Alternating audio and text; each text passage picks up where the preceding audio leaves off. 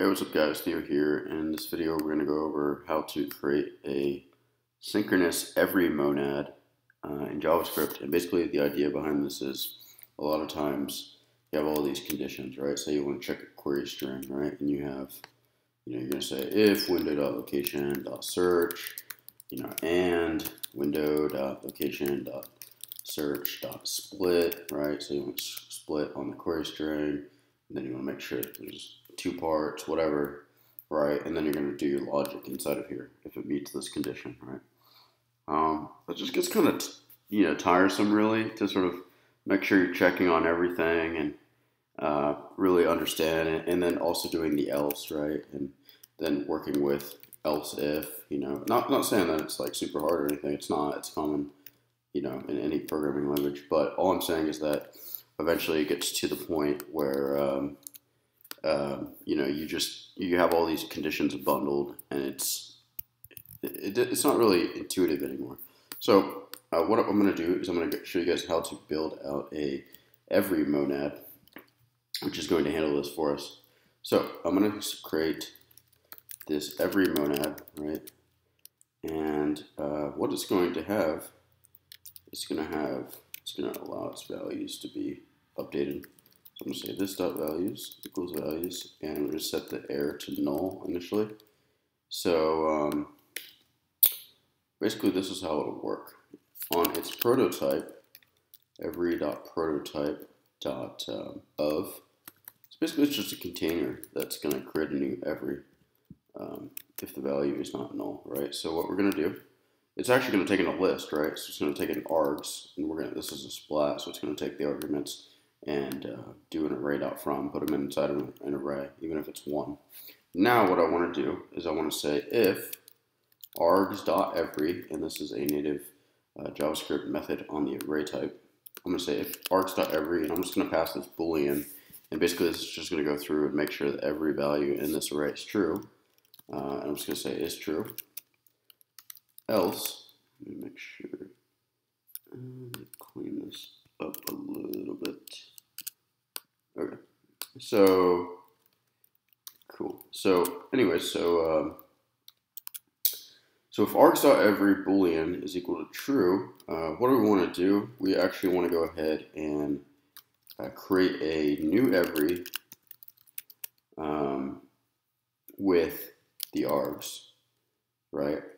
And then we want to go ahead and uh, we can return this, but we don't actually need to here because this is of the every type here. So it's going to return a new every with the arguments. Otherwise, if it's not true, um, then we want to go ahead and uh, we're just going to go ahead and set the error property, this dot error to there is an error. And then we can also go ahead and um, we can just go ahead and return this at this point, and now values is is just going to be is is going to be empty, or just will be undefined, right? Um, so that's the of. Now we got to, now we have to work on the dot then, right? And this is a common function that you'll see when you're resolving a promise, and you pass this a function, and this will run when your promise is resolved. So every dot prototype dot then is a function which we pass it a function, right? And uh, what we can do here is what we're going to do is we're going to say if uh, if there is an error, right? We don't want it to run if there's an error. If this dot error is not equal to null, or if it is equal to null, uh, then let's go ahead and let's call the function, and then let's just go ahead and return this, right? So this is going to allow us to call it and still pass on to that catch, even if the catch isn't run. Else, uh, if there is an error, right, uh, we're just going to return this. And finally, let's build out our every.prototype.catch. And same sort of deal, right? And then what I can actually do here is pass this dot values. Um, so right, every.prototype.catch, same thing, takes in a function and we could say if this dot error um, is not equal to null, what do we want to do? We want to go ahead and run the function, or we're going to pass this dot error, and then we can go ahead and return this as well. It doesn't matter. So this is going to be the last one. And if there is um, the error is null, we'll just return this, right? So that's our that's our every implementation.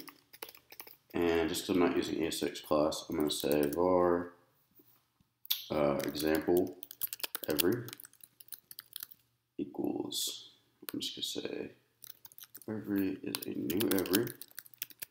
Okay. And what I can do here is I can say um, every dot of, and I'm going to pass it one, two, three, dot then, I'm going to pass it a function that's going to have my response on here, right? And this kind of looks a lot like, um, you know, asynchronous code that you would see from HTTP requests. And I just like this idea of this Fluent API because it gets rid of all the if-else checks once you implement this one time. And then we're going to say dot catch function error, right? What we can actually do is log out the error and log out the response. So with all of that, let's make sure this works. So here it is, one, two, three, that's our response. Response, and then we could say error, one, two, three, right? So it's not actually running our catch function, you can see, because there's no null values, but if we were to put in a null right here, error, there is an error, and uh, maybe if we want to um, of determine the error, right, uh, we can say, uh, what we can do is actually go ahead and uh, what we can do, we can say var error equals what we can do, we can just, we'll just return um, this dot error equals args dot map bool, oh sorry, boolean, error, and then true, true, false, false. So we can actually look at which one is wrong, right? So maybe we want to do this, like we can say return, and we actually just want to return um, args.map, arg, arg, and uh, boolean of arg, something like that, error, object, object, object, and then we can say error, object, object, right? So this is, let me take this out actually. Error, and then you can sort of see that the it's the R right there, but actually let me do, do, do, do, do what are we passing? Passing an array, that's the problem. Um, we can just say, let's go back up, args.map, return, our boolean arg. Uh, we'll just do args.filter arg. Um, let me take this out. Args.filter boolean, not boolean. Boolean uh, args.filter arg false. Filter arg. Oh, arg where arg is equal to false.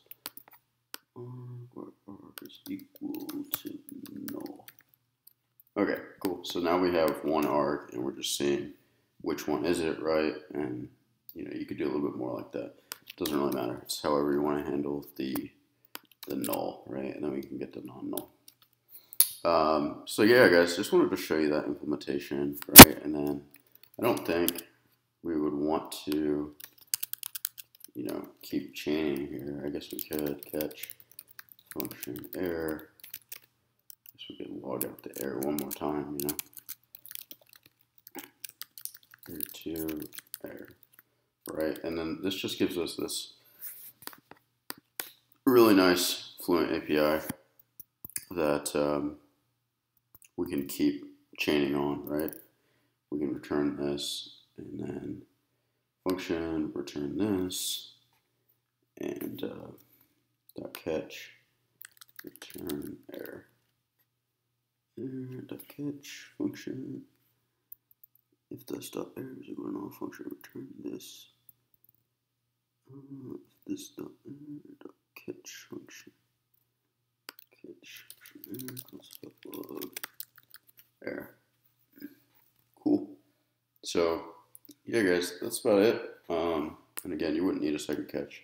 We could build that out later. I'm not going to do that right now. But um, just wanted to show you guys that Fluent API right here. And hopefully you guys enjoyed the video. If you did, make sure to like, comment, and subscribe. And as always, guys, I will catch you guys in the next video. So take care and have a great day. Thanks.